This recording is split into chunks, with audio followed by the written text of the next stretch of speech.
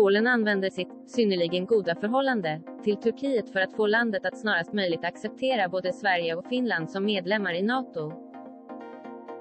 Det skulle kunna vara en game changer ur ett säkerhetsperspektiv, säger polske premiärministern Mateusz Morawiecki på en pressträff i Stockholm. Morawiecki har besökt statsminister Ulf Kristersson, M, inom ramen för det svenska EU-ordförandeskapet. Mötet fokuserar på det säkerhetspolitiska läget och betydelsen av ett fortsatt starkt europeiskt stöd för Ukraina.